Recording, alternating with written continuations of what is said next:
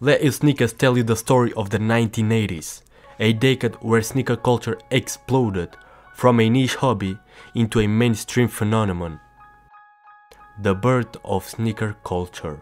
The 1980s were a time of bold fashion, groundbreaking music, and of course, the rise of sneaker culture. As hip hop emerged from the streets of New York, it brought with it a new style of dress, one that featured sneakers as the centerpiece.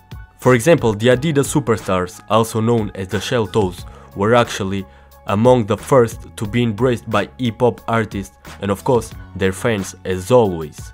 But it wasn't just about the shoes, it was more about the statement that they made. Sneakers and hip hop, a love story.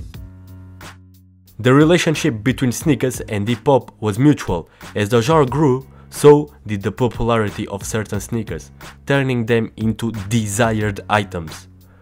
Run DMC's My Adidas wasn't actually just a song, it was an anthem that highlighted the deep connection between the group and, of course, their favorite sneakers, leading to an unusual and unexpected endorsement deal with Adidas. This partnership marked a turning point, showing the world that sneakers had actually the power to cross cultural boundaries and become symbols of success, power, and identity.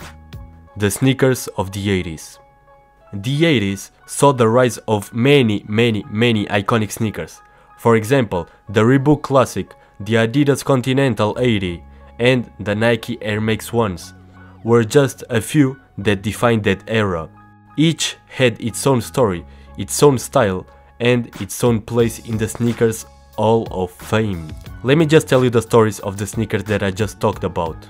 The Reebok Classic first hit the scene in 1986, marking a leaving from the performance-focused design of the time to prioritize casual wear and everyday comfort. Originally crafted as running shoes, the Classic was designed with a smooth and timeless appeal that surpassed its athletic origin. Its introduction was a witness to Reebok's innovative spirit, blending sportswear functionality with streetwear design. The shoe's popularity is a tribute to its versatile design, which has seen numerous re-releases and collaborations, celebrating its rich story and timeless appeal.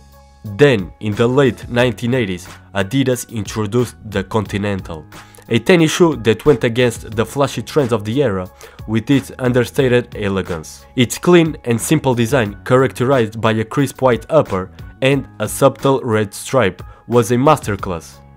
Despite its initial low profile, the Continental 80 resurfaced in 2018 as a part of Adidas Young series, capturing the hearts of the sneakers enthusiasts again. Its re-release highlighted the sneaker's timeless design and of course its ability to cut through the noise of more maximalist trends, reaffirming its status as a staple of minimalist. And lastly, the Nike Air Max 1 released in 1987, a revolutionary sneaker that changed the game with its visible air cushioned sole. Designed by Tinker Hatfield, the Nike Air Max 1 was inspired by the Pompidou Center in Paris, whose inside-out design encouraged Hatfield to expose the air unit, a decision that was as controversial as it was innovative. The Air Max 1 was not just Nike's first sneakers to reveal the air cushioned sole, but also a bold statement in sneaker design. Its release marked an important moment in Nike's history, laying the groundwork for a series of Air Max sneakers that would continue to push the boundary of design and technology. High tops with the lasers loose, paired with baggy pants or tracksuits, became the look of the decade. The influence of sneaker culture.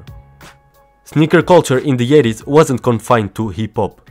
It spread across genres, influencing skaters, punks, and anyone who identified with the counterculture movement. Sneakers became a way to express individuality and belonging all at once. This era also saw the beginning of sneakers collecting, with limited editions and collaboration. The concept of sneakerheads was born and it is alive nowadays, turning sneakers into not just footwear of course, but collectible art. The legacy continues. The 1980s may have been the golden age of sneaker cultures, but its influence didn't stop there. Today, sneakers continue to be at the forefront of fashion, music and culture, the 80s serving as the foundation for modern sneaker culture.